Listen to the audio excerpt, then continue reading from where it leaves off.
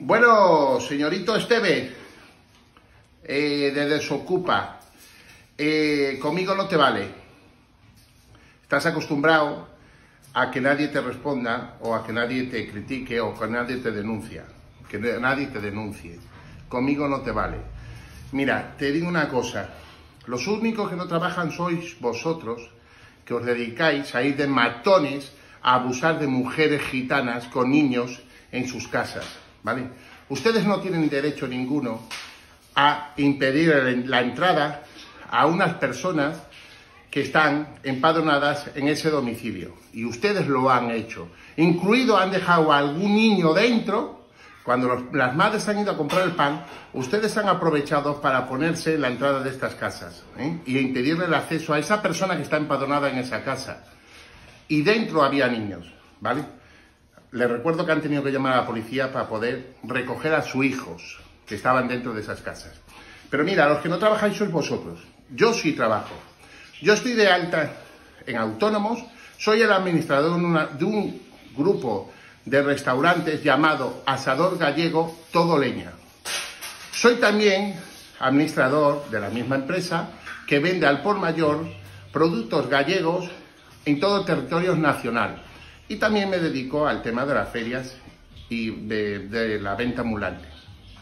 Por lo tanto, sí trabajo, no como usted, que solamente trabaja a intentando llevar a cabo a toda la camarada en el ejército detrás, como hemos podido ver recientemente en Cataluña, que llevabas a todos los nazis detrás levantando la mano al sol, estilo nazi, estilo Hitler. Con nosotros no te vale y no nos va a temblar el pulso en denunciarte. ¿Dices que estoy acusado o que estoy condenado en narcotráfico? Se lo agradezco, señor Dani Estevez. No estoy condenado por narcotráfico. Se ha equivocado usted, pero lo grave que lo ha dicho públicamente.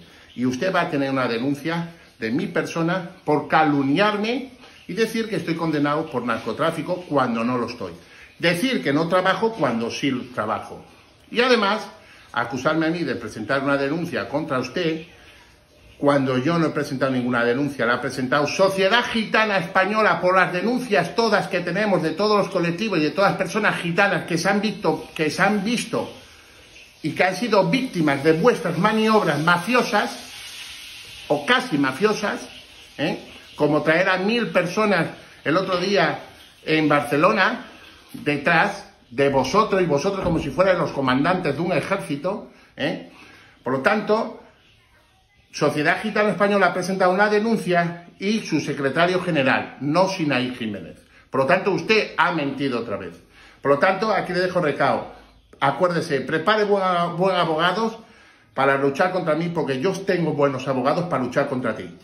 Saludos y bendiciones de Sinaí Jiménez. Siempre fuertes. Si tú los tienes fuertes, yo también los tengo fuertes. Mira, qué músculo.